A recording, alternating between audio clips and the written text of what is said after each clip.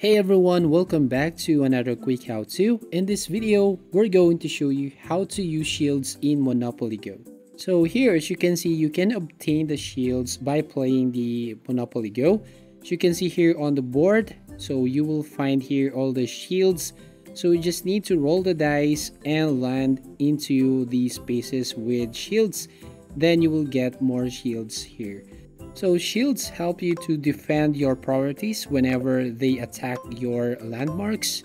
So it will automatically use that shield so they will not get much money by attacking your landmarks. So you just need to play here, roll the dice and you can have more shields. So the more shields, the more you can defend your properties.